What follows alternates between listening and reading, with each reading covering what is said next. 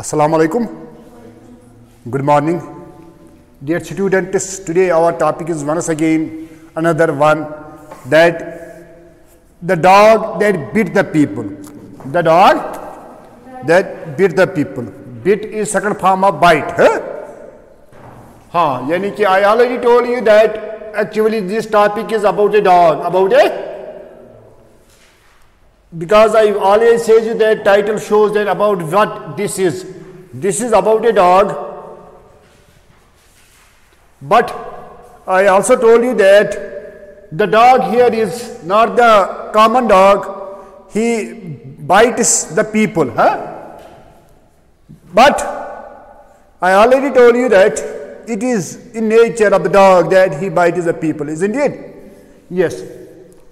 Here I have already told you about that this is written by James Thurber. Huh? The play uh, is written by James Thurber, and I have told you about James Thurber that he was born. He was born on 8th December 1900, 1894. Huh? Yes. And he died on 2nd November second November ये गलत हुआ है दो बार। 1961 है। What was he? He was a cartoonist. Yes he makes the cartoons he was author, as he has written our this play also. He was humorist, यानी कि ये बहुत मज़ा कर रहा था। इसने तो अगर हम देखेंगे उसके प्लेज वो तो ह्यूमर ही है उनमें। एंड जर्नलिस्ट क्योंकि बहुत सारे जर्नल्स में उसने लिखा है। एंड प्ले राइट और बहुत सारे प्लेज उसने लिखी एजुकेशन कहा उसने हासिल की, क्या किया है?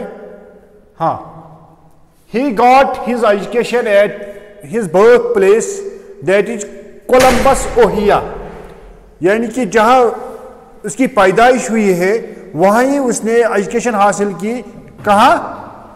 कोलंबस है? कोलंबस ओहिया ही है taken admission at Ohio State University में उसने एडमिशन लिया है। कब लिया है? 1913 से कब तक? 1918 कितने साल? हम्म? 13 से 18 कितने? ये जो ये फाइव ईयर्स हैं मैंने क्रॉस क्यों मारा? क्यों? ये ज़ाया हो गए हैं। अगर हम देखेंगे, क्योंकि मैंने यहाँ लिखा है he has taken the admission admission मैंने ये नहीं कहा he has complete the degree यानी उसने एडमिशन लिया मगर डिग्री इसने कंप्लीट नहीं की. समझ आ रहा है? हाँ. बट हैड नॉट कंप्लीटेड समझ आ रहा है? The degree and left without taking a degree समझ आ रहा है? यहाँ से या तो उसने वहाँ एडमिशन लिया है but he has not complete the degree there are different reason that why he has not completed degree I already told you that first of all he was disabled has not the good uh, vision. Because I already told you that his brother has shoot an arrow towards him. Huh?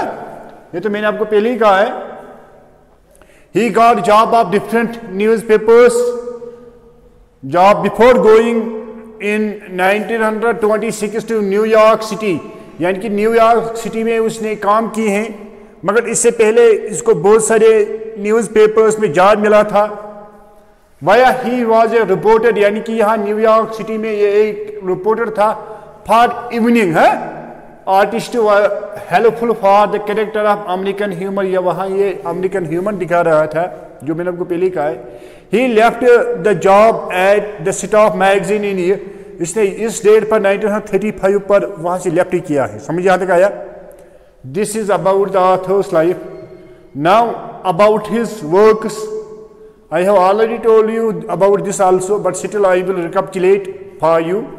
Otherwise, in the first lecture, I have already told you this.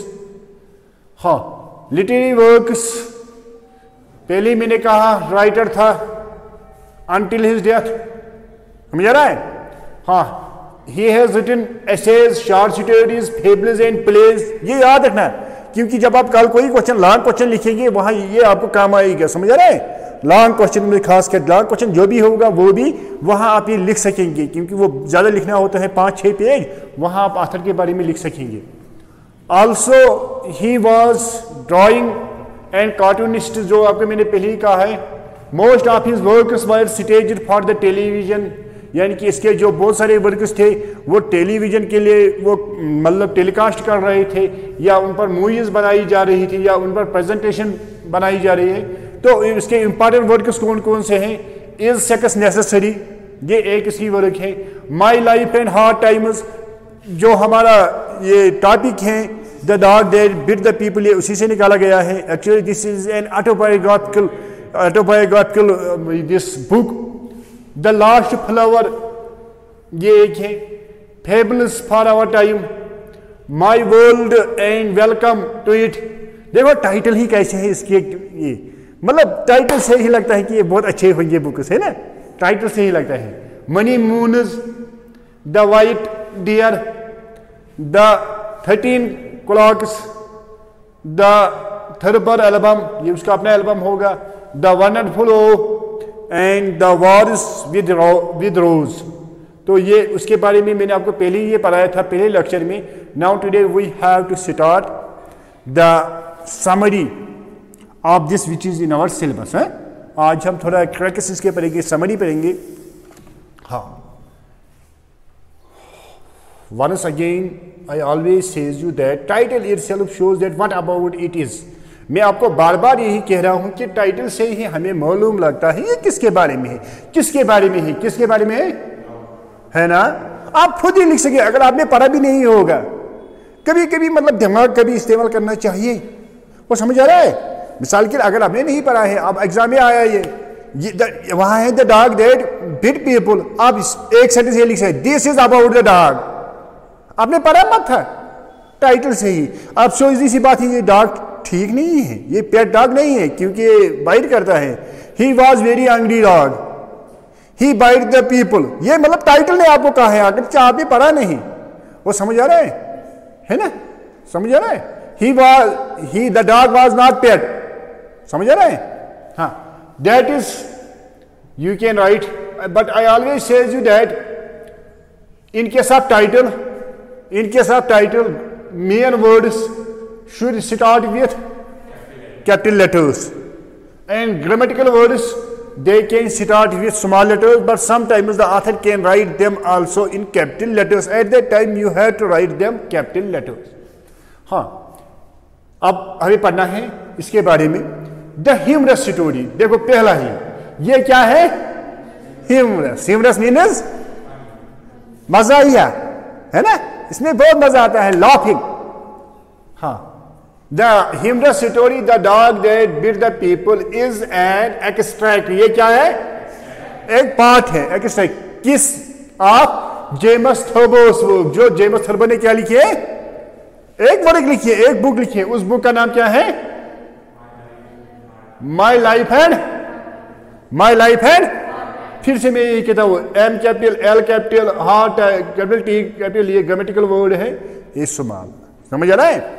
हाँ। और मैंने आपको बार बार कहा है कि ये inverted commas with in inverted commas में रखना होता है। या हाँ अगर हम वहाँ लिखेंगे टाइप से, वहाँ आप कर्सिव में भी रख सकेंगे बोल्ड भी, यानी कि थोड़ा हटके होना चाहिए बाकी से समझ आ रहा है?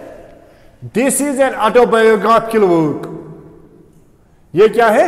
ऑटोबायोग्राफी आपको मैं बार बार कह रहा हूँ auto means self bio means life यानी कि ये यहाँ आथर अपने बारे में कह रहा है अपने लाइफ के बारे में कह रहा है। समझ आ रहा है? समझ आ रहा है नहीं? हाँ। In which he writes the tales उसमें उसने क्या लिखे हैं? टेल्स टेल्स मीनस स्टोरीज कहानियाँ। समझ आ रहा है? वो समझ आ रहा है या नहीं? हाँ। दीज टेल्स आर ह्यूमरस अभी हमने कहा तो ये टेल्स क्या है? And deal is with his peculiar family life ये किसके साथ डील करते हैं? उसके फैमिली लाइफ क्यों? उसके फैमिली लाइफ के साथ क्यों? क्योंकि ये क्या है? ऑटोबायोग्राफी ऑटोबायोग्राफी तो उसकी फैमिली के साथ ही, या उसके अपनी लाइफ या उसके फैमिली के, समझ आ रहा है? नहीं। हाँ। The book is about his youth जो ये वाली बुक है, ये किसके बारे में? उसके, जो उसे कहा मैंने ये भी कहा है, आपने जहाँ कोलम्बस ओहिया में जहाँ इसकी पैदाइश हुई है अभी हमने पढ़ा ना।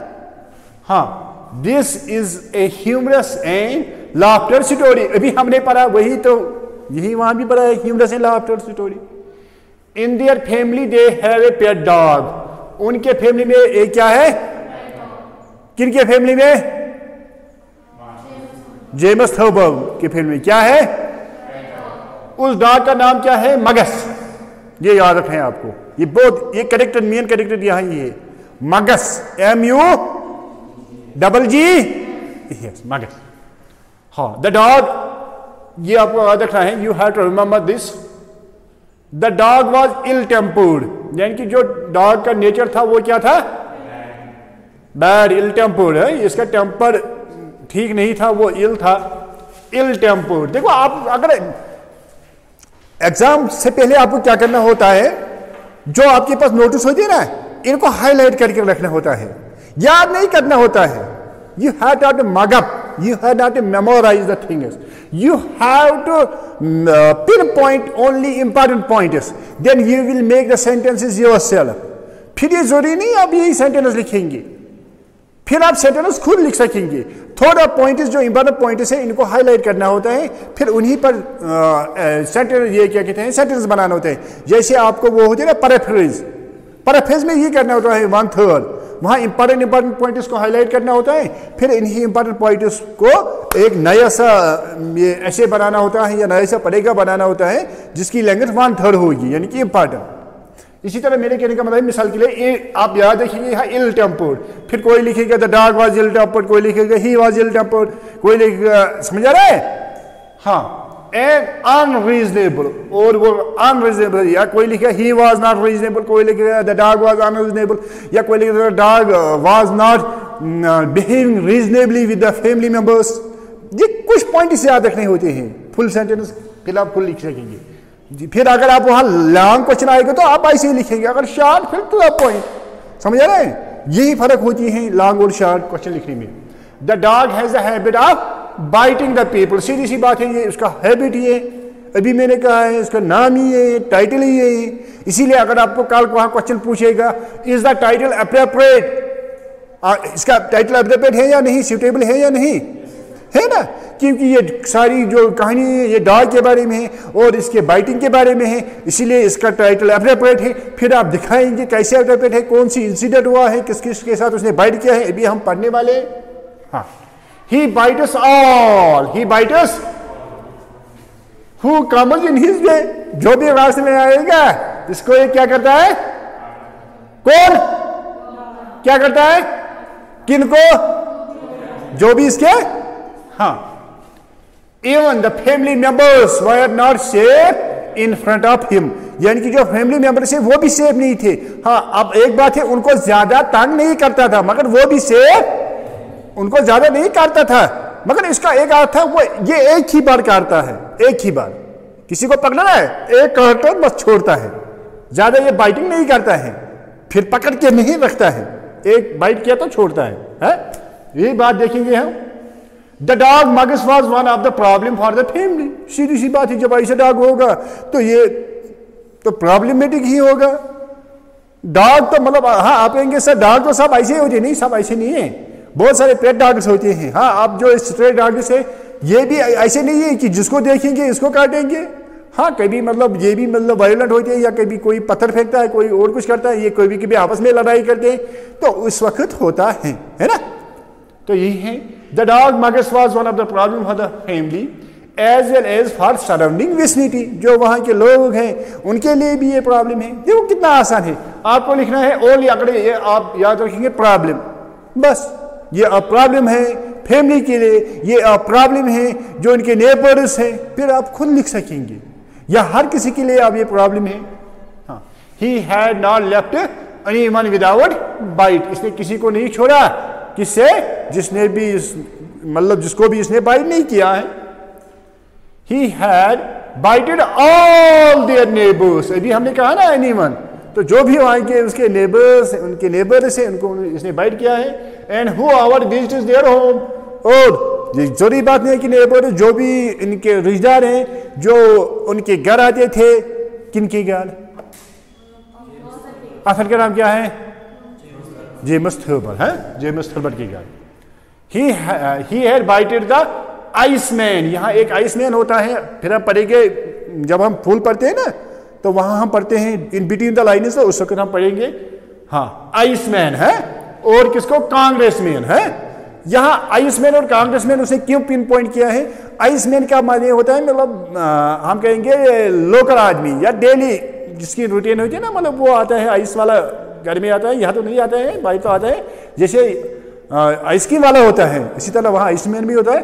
तो और congressman congressman here mean politicians यानी कि no difference poor as well as rich higher as well as lower उसके मतलब ये नहीं है कि ये गरीब है, ये अमीर है, नहीं, हर किसी को politician as well as common man the only one person whom he has not bited was the narrator's mother एक आदमी को उसने नहीं काटा, वो नरेटर की माँ है। तो मगर एक दिन उसने कोशिश की है, उसको भी काटने की। तो वो इंसिडेंट हम पढ़ेंगे टेक्स्ट्री में कि वो इंसिडेंट कब हुआ, मैं वो दिखाऊँगा आपको, वो इंसिडेंट कब होता है। तो इसको उस वक्त गुस्सा आता है एक्चुअली उनके घर में बहुत सारे रेटस होते थे। तो माँ कहती है कि ये हर किसी को काटता है, इन रेटस को क्यों नहीं कुछ करता है? जो ये चूहे हैं, इनको कुछ नहीं करता है। तो वो थोड़ा इसको मारती है, वरना उसने उसको कभी नहीं मारा था। तो उस वक्त तो थोड़ा इसको मारती तो उसको मतलब गुस्सा आता है ये उसने मुझे कभी नहीं मारा तो ये क्या बात है मुझे आज मारा।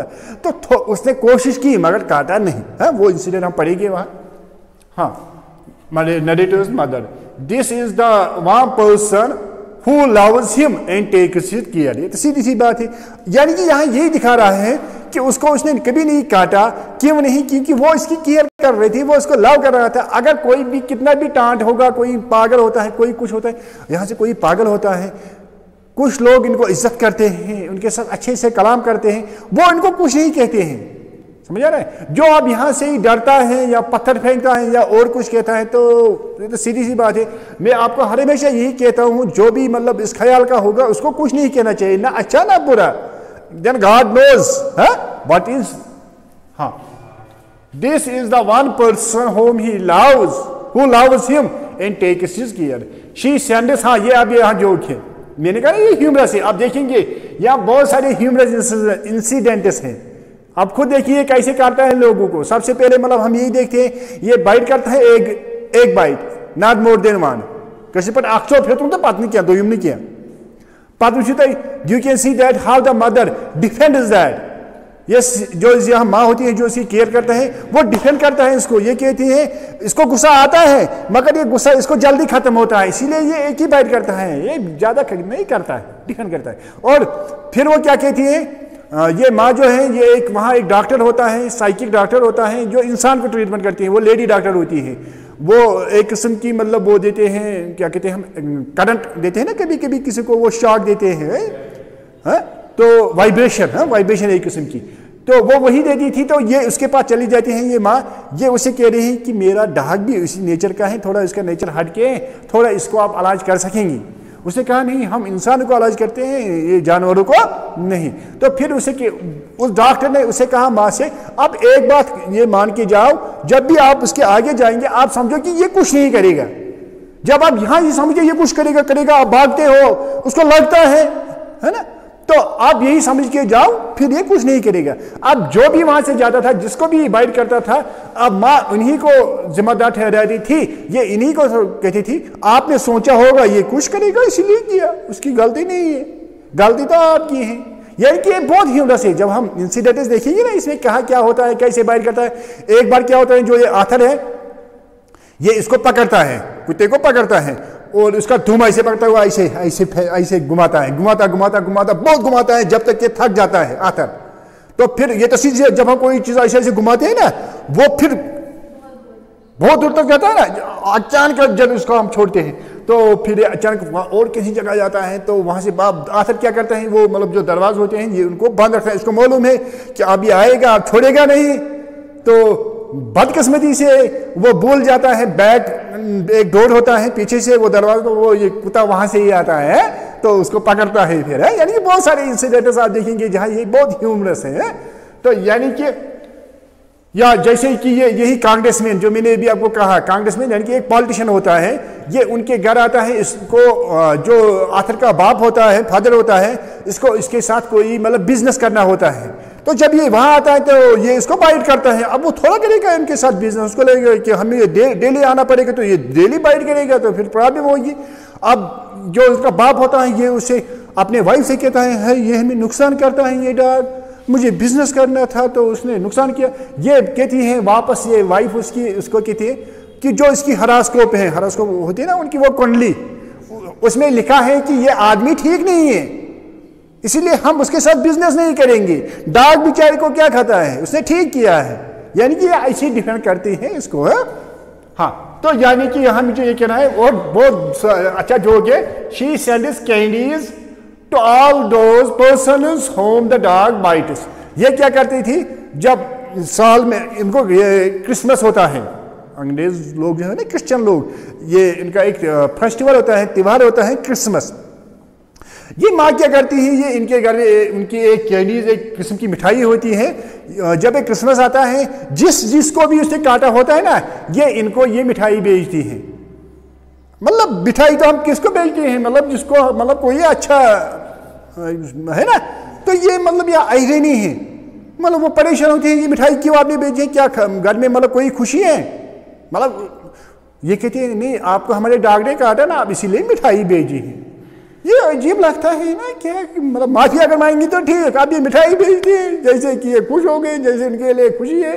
तो ये इस पॉलिटिशियन को भी बेचते हैं, जो मैंने भी कहा है कांग्रेस मैन होता है, इसको भी बेचते हैं, मगर इसको शक होता है। कुछ ना कुछ तो दाल में काला है।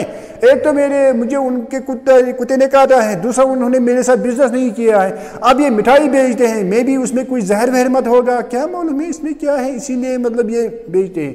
मतलब आप देखेंगे खुद ही कि इसमें बहुत सारे इंसिडेंट्स हैं, जहाँ हमें मतलब लाभ आता है।